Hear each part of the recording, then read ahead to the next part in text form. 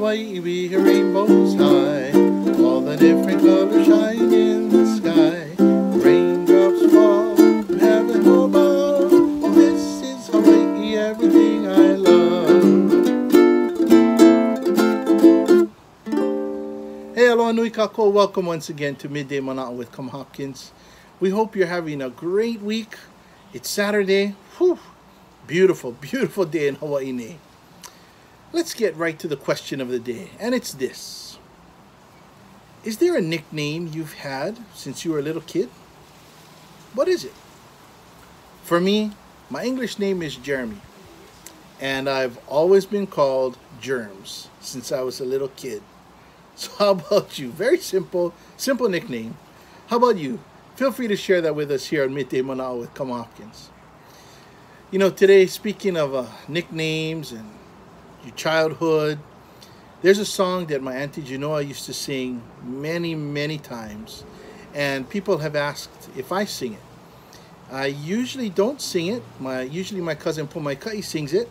But for those of you that would like to hear it, I'd like to share this song with you. A song entitled Hawaiian Souvenirs.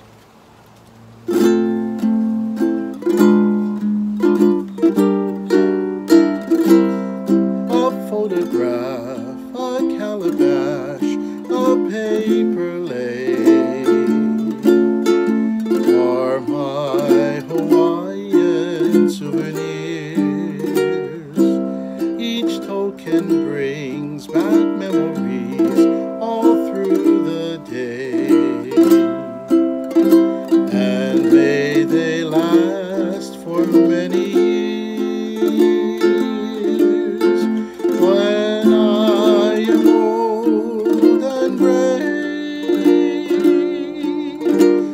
I'll have the pleasure to say to you a photograph, a calabash,